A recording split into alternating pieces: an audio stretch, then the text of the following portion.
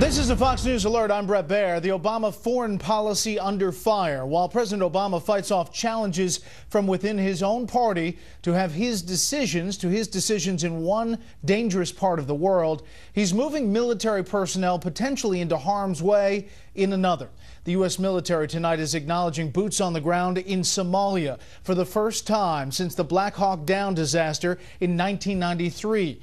The U.S. African Command announced what it calls a military coordination cell. Fox News is told there are fewer than five people so far. They're advisors, not combat troops, but they are on the ground in Somalia. This says fighting has taken an ugly turn in Syria, not with U.S. troops. Gains made by U.S. forces, though, in Iraq are disappearing to Al Qaeda linked fighters. The relationship with Afghanistan's shaky government is at a low point now, and the political version of a family feud is brewing between President Obama and some of his fellow Democrats over new sanctions on Iran.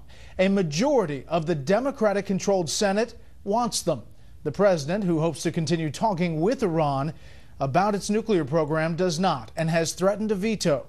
Chief White House correspondent Ed Henry on the political battle about a real life possible war. As Iran's supreme leader again described the United States as Satan, Democrats led by Senate Foreign Relations Chairman Bob Menendez are gaining new steam in their effort to pressure President Obama to accept tough new sanctions against Iran which led a White House official to take the unusual step of going on the record in the Huffington Post to charge some fellow Democrats want war with Tehran. Can you say from the podium that you that Democrat Bob Menendez wants to go to war? Look, I think that uh, Senator Menendez, Chairman Menendez, wants what we want, which is to prevent Iran from acquiring a nuclear weapon. He and many others in the Senate have been uh, excellent partners. That's not what the White House said to Huffington Post, an official declaring, quote, if certain members of Congress want the United States to take military action, they should be upfront with the American public and say so. The administration is on defense because there are now 59 senators, including 16 Democrats, who have defied the president to support a bill to ready new sanctions if diplomatic talks fail.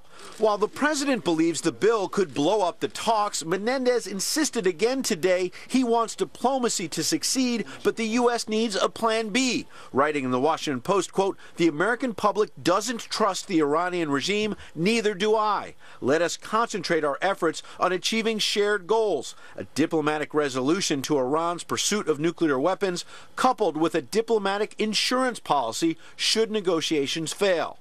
The president may also need a plan B in Afghanistan. It's unlikely President Hamid Karzai will sign a long-term security agreement. And after it was revealed that former U.S. Defense Secretary Robert Gates' book claims Mr. Obama, quote, can't stand Karzai, the Afghan president has now authorized the release of 72 Taliban fighters from Bagram prison. We are in touch uh, through our embassy in Kabul uh, and others uh, in Afghanistan uh, on this matter. Republicans have hit the president for not having substantive talks with Karzai since last summer. I do think it's concerning that the president has not engaged personally more often on an issue of such magnitude. As for the last time the president spoke to General Joseph Dunford, the U.S. commander on the ground, I know we don't really out every conversation the president has with his military leaders. Ed, I think I've answered the question. Thank you. Now, pressure is building on the president because uh, supporters of new sanctions against Iran are getting close to a veto proof majority, in part because it's hard for the president to accuse lawmakers of wanting war when he himself is keeping the military option on the table. Bret? More on this with the panel. Ed Henry live on the North Lawn. Ed, thank you. Fierce clashes are being reported between Iraqi special forces and al Qaeda linked militants who have taken control of parts of Fallujah and Ramadi inside Iraq. It's the worst violence since U.S. troops left Iraq. Now, congressional lawmakers are calling on President Obama to make a move. Here's Chief Intelligence Correspondent Catherine Herridge. Conditions on the ground in Anbar province are deteriorating, with al Qaeda affiliated forces consolidating gains in Fallujah and Ramadi, with a push east to Baghdad, where a suicide bomber attacked an army recruitment center Thursday, killing 23. A new analysis from the West Point Counterterrorism Center describes how the group's dramatic expansion into Syria under the banner of Al Qaeda in Iraq and the Levant has, quote, offered a tremendous platform to recruit, train, and fundraise in ways that position the group to both stoke and exploit sectarian tensions in Iraq. Pressed on the chaos, the State Department defended its strategy. to argue that we are not actively engaged in diplomatic efforts around the world is uh, completely inaccurate. Thursday, the Speaker of the House called out the president for failing to reach a status of forces agreement with the Iraqi government and his commander in chief handing off the work to others. The administration has chosen to spend much of its time and energy trying to explain why having terrorists holding key terrain in the Middle East is not the president's problem. Democrats don't dispute that hard-won American gains in the 2007 surge are being lost, but accuse Republicans of ignoring the facts. Blaming the administration for failures and decisions by the Iraqi government ignores not only history, it also leads to policy approaches that would not be in our interests or in the interests of the Iraqi people. The State Department also designated Ansar al-Sharia in Tunisia, blamed for this attack on the U.S. Embassy in 2012, and Ansar al-Sharia in Libya, blamed for the Benghazi assault three days earlier as terrorist groups. The designation comes 15 months after Fox News first reported the al-Qaeda ties and the connection between both terrorist attacks. When questioned by a Fox producer about its own press release, the State Department spokeswoman tried to play down the designation's broader significance. You said that uh, Ansar al-Sharia Tunisia Has ideological ties to Al Qaeda and ties to its affiliates. Is that an admission by the administration, the State Department, that um, terrorism is on the rise? I would I would refute that. And a short time ago, the UN Security Council condemned the violence in Iraq. As one analyst noted that an all-out offensive by the Iraqi government to retake Anbar could mean higher civilian casualties and further drive the moderates to side with al-Qaeda. The crisis is now testing the Obama administration's remaining leverage in the region, Bret. Catherine, thank you. Rebel on rebel fighting reportedly has left nearly 500 people dead in the past week in northern Syria. Activists say battles continue between al Qaeda linked militants and factions of moderate and ultra conservative Islamists.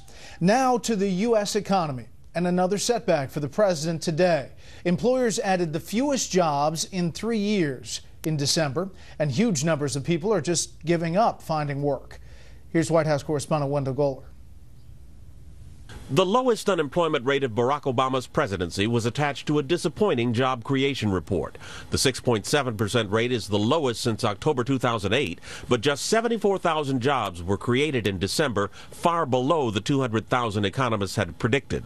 The numbers intensified the fight over renewing long-term jobless benefits, which expired with the new year. There was a measure to extend benefits in the way that President Bush signed into law five times and Republicans won't go along with it. On the Hill, House Speaker John Boehner said, quote, instead of making it easier to find a good paying job, Washington has been more focused on making it less difficult to live without one. And Texas Republican Kevin Brady agrees. I just hope my colleagues on both sides of the aisle remember that the measure of Americans' compassion is not how long we provide unemployment benefits, but how soon we get people into good paying jobs. Democrats and Republicans are divided over whether to extend the benefits and how to pay for them. 1.3 million people lost long term unemployment benefits when the new year began. A post depression record number of Americans have been out of work for more than a year and wouldn't qualify for extended benefits anyway. It's the relatively small labor force participation rate that keeps the jobless rate from rising. More than 90 million people who don't work are not counted as part of the labor force, which is one one reason Republicans say the focus should be on job creation. This latest report this morning reflect the lowest number of jobs added since January of 2011. That doesn't speak well about the track record of what's going on here. But despite the December hiccup and the long-term unemployed, administration officials feel the long-term job creation trend is good. December absolutely was below our expectations. November was revised up and was now 240,000, which was well above our expectations for that month. Meanwhile, AFL-CIO officials concede the fall in the jobless rate, quote, was driven mostly by people dropping out of the labor force, not by healthy job creation. But the deputy chief of staff went on to say it is more critical than ever for Congress to quit dawdling and pass an extension of unemployment insurance immediately. Late today, a spokesman said Senate Majority Leader Harry Reid is willing to consider what he called a limited number of Republican amendments to the extended uh, uninsurance benefits bill that had been considered the holdup, and it may break the impasse. Bret? Wendell Goler at the White House briefing room. Wendell, thank you. Let's go inside the numbers now, learn more about what they mean. Melissa Francis is in New York. She's the host of Money with Melissa Francis, weekdays at 5 p.m. on the Fox Business Network. Good evening, Melissa. You know, the question I get so much is why did the unemployment rate drop so much, but only 74,000 jobs were added? No, absolutely. I mean, those are two totally different surveys, first of all. And that 6.7% number looks really good until you realize that 350,000 people left the workforce. That's five times as many as found a job. And those that support the president try to spin it and say a lot of those people are retiring, they're baby boomers. But that's just a fraction of the number, Bret. Yeah, I mean, this is the lowest labor participation rate since 1978. So that's a tough thing to, to turn around for them to spin. Meanwhile, there's evidence that, that those finding work aren't really finding the solid, high paying jobs in, in a recovery. No, that's true. You have to drill down on the stats within the numbers, and it says, you know, the average hours worked per week fell. That means there are more people taking part-time jobs, so they may have found a job, but it's not a full-time job. Uh, there were a lot of temporary workers that were added, and you saw wages very stagnant. So overall, if you have a job, you're still having a very hard time paying the bills. And quickly, you know, this comes as the president has vowed to fight what he calls income inequality. It's actually, yeah. once again this month, getting worse, it appears. Absolutely. I mean, if you look at the stats, once again, it got worse. You know, last year the stock market was on fire. Up, the Dow was up 26% for the year. Its best year in 18 years ended at a record. That's great for wealthy people that are in the stock market. That was fueled by the Fed. At the same time, you are looking at working folks with stagnant wages, with part-time work, or with temporary work. They're standing still or falling behind while the wealthier are getting richer. It happened again this month that just went by. Okay, Melissa, as always, thank you. Thank you. Wall Street apparently not particularly bothered by the jobs numbers. The Dow was down 8, the S&P 500 gained 4, the Nasdaq was up 18 today. For the week, the Dow was down 2 tenths of a percentage point, the S&P 500 was up 6 tenths. The Nasdaq gained 1. Up next, someone has finally been fired over the Obamacare website rollout. We'll tell you who and it's some breaking news, but first, here's what some of our Fox affiliates across the country are covering tonight. Fox 7 in Austin, Texas says retail giant Target now says personal information was stolen from as many as 70 million of its customers during the holiday shopping season. Target originally said the breach affected only about 40 million credit and debit card users. Fox 13 in Salt Lake City with reaction to Attorney General Eric Holder's decision to recognize more than a thousand same-sex marriages performed in Utah before the Supreme Court put those unions on hold. And this is a live look at a dark and rainy Philadelphia from Fox 29. The big story there tonight is the search for a man who threw scalding hot coffee, take a look at this, on a worker at a donut shop Wednesday afternoon. The man tried to pay with an expired cell phone coupon and then settling up in cash, he went back and did this. That's tonight's live look outside the Beltway from Special Report.